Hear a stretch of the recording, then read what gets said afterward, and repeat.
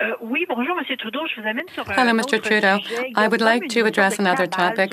There is a sort of cabal on social networks about your statements regarding the great reset of the economy. Um, this term is used by people who imagine there's some sort of a world plot uh, taking the COVID as a chance to start this new world economy. What do you think? My responsibility is to protect Canadians, to keep track of what's going on now with the actual pandemic and help as many people as possible get through it, try to create a more resilient and stronger economy. We have seen very clearly that the most vulnerable in this pandemic have been hardest hit people who are marginalized, who are racialized, women. Yes, euh, we need to adjust our programming and our policies to be in a better position to help everyone. I think that's what Canadians expect from us, and that's what we have been doing over the last five years as a government, creating more opportunity, more equality, less barriers and obstacles for all in society. We also know that we need to do more throughout this crisis, this pandemic, and after it to fight climate change.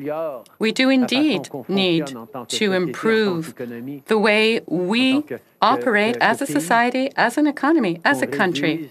We need to reduce our carbon emissions. We need to look for new alternatives. Yes, a crisis like this, this is a good time to think carefully about how we can build a better world. A world even better than the one we have inherited from our parents. That's what I've always done, and that's what I will continue doing. Is that we have gaps uh, in our social safety net, in our society. The most vulnerable who've consistently slipped through those cracks have been even harder hit by this pandemic. And we do need to make changes to strengthen our social safety net, to support workers and families even better, to make sure that as the world changes through this pandemic and beyond, we're there to help people succeed. And looking at how we can improve things, how we can bring in better supports, how we can create better prosperity and shared economic growth for everyone. These are the things that Canadians expect us to do, not just during a pandemic, but have watched us work on for five years. Over the first four years of our government, we lifted uh, a million people out of poverty. We created a million new jobs in Canada, which was a record. We did that by leaning in on supporting people who are more vulnerable. And even as we deal with this crisis of a pandemic, we have to continue to deal with the crisis of climate change and the transformations we need to bring to our economy to better be positioned for the future, for the future opportunities and the future challenges. And that's working with our energy sector to lower our carbon emissions. It means working with our transformation sector and bringing in investments like the Oakville plant that's going to be zero electric vehicle, uh, zero emission vehicles. We're going to continue to do the kinds of things that Canadians expect us to do, which is work every day to make sure we're leaving a better world to our kids than the one we inherited from our parents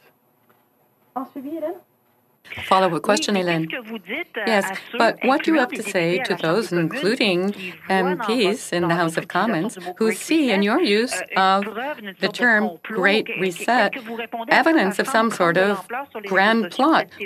What do you have to say to this sort of conspiracy theory out on social media now? I think that we are living through a very anxiety-provoking period for many people who are anxious about this pandemic and and its impact on their lives. People around the world are looking for reasons and also looking for solutions that sometimes turn out to be their conspiracy theories. But if there are any conservative MPs who want to focus on conspiracy and plots and so on, well, they're welcome to do so, but we will remain focused on Canadians. I think we're in a time of anxiety where people are looking for reasons uh, for things that are happening to them, that the difficult moments we're in. It's nice to be able to try and find someone to blame, something to point to, something to get mad at. I think uh, we're seeing a lot of people fall prey to disinformation. And if conservative MPs and others want to start talking about conspiracy theories, well, that's their choice. I'm going to stay focused on helping Canadians get through this, on learning lessons from this pandemic, and making sure that the world we leave to our kids is even better than the world we inherited from our parents. Hello, Prime Minister. It's Annie Bergeron Oliver with CTV National News. In your speech, you said, quote, going into lockdown and support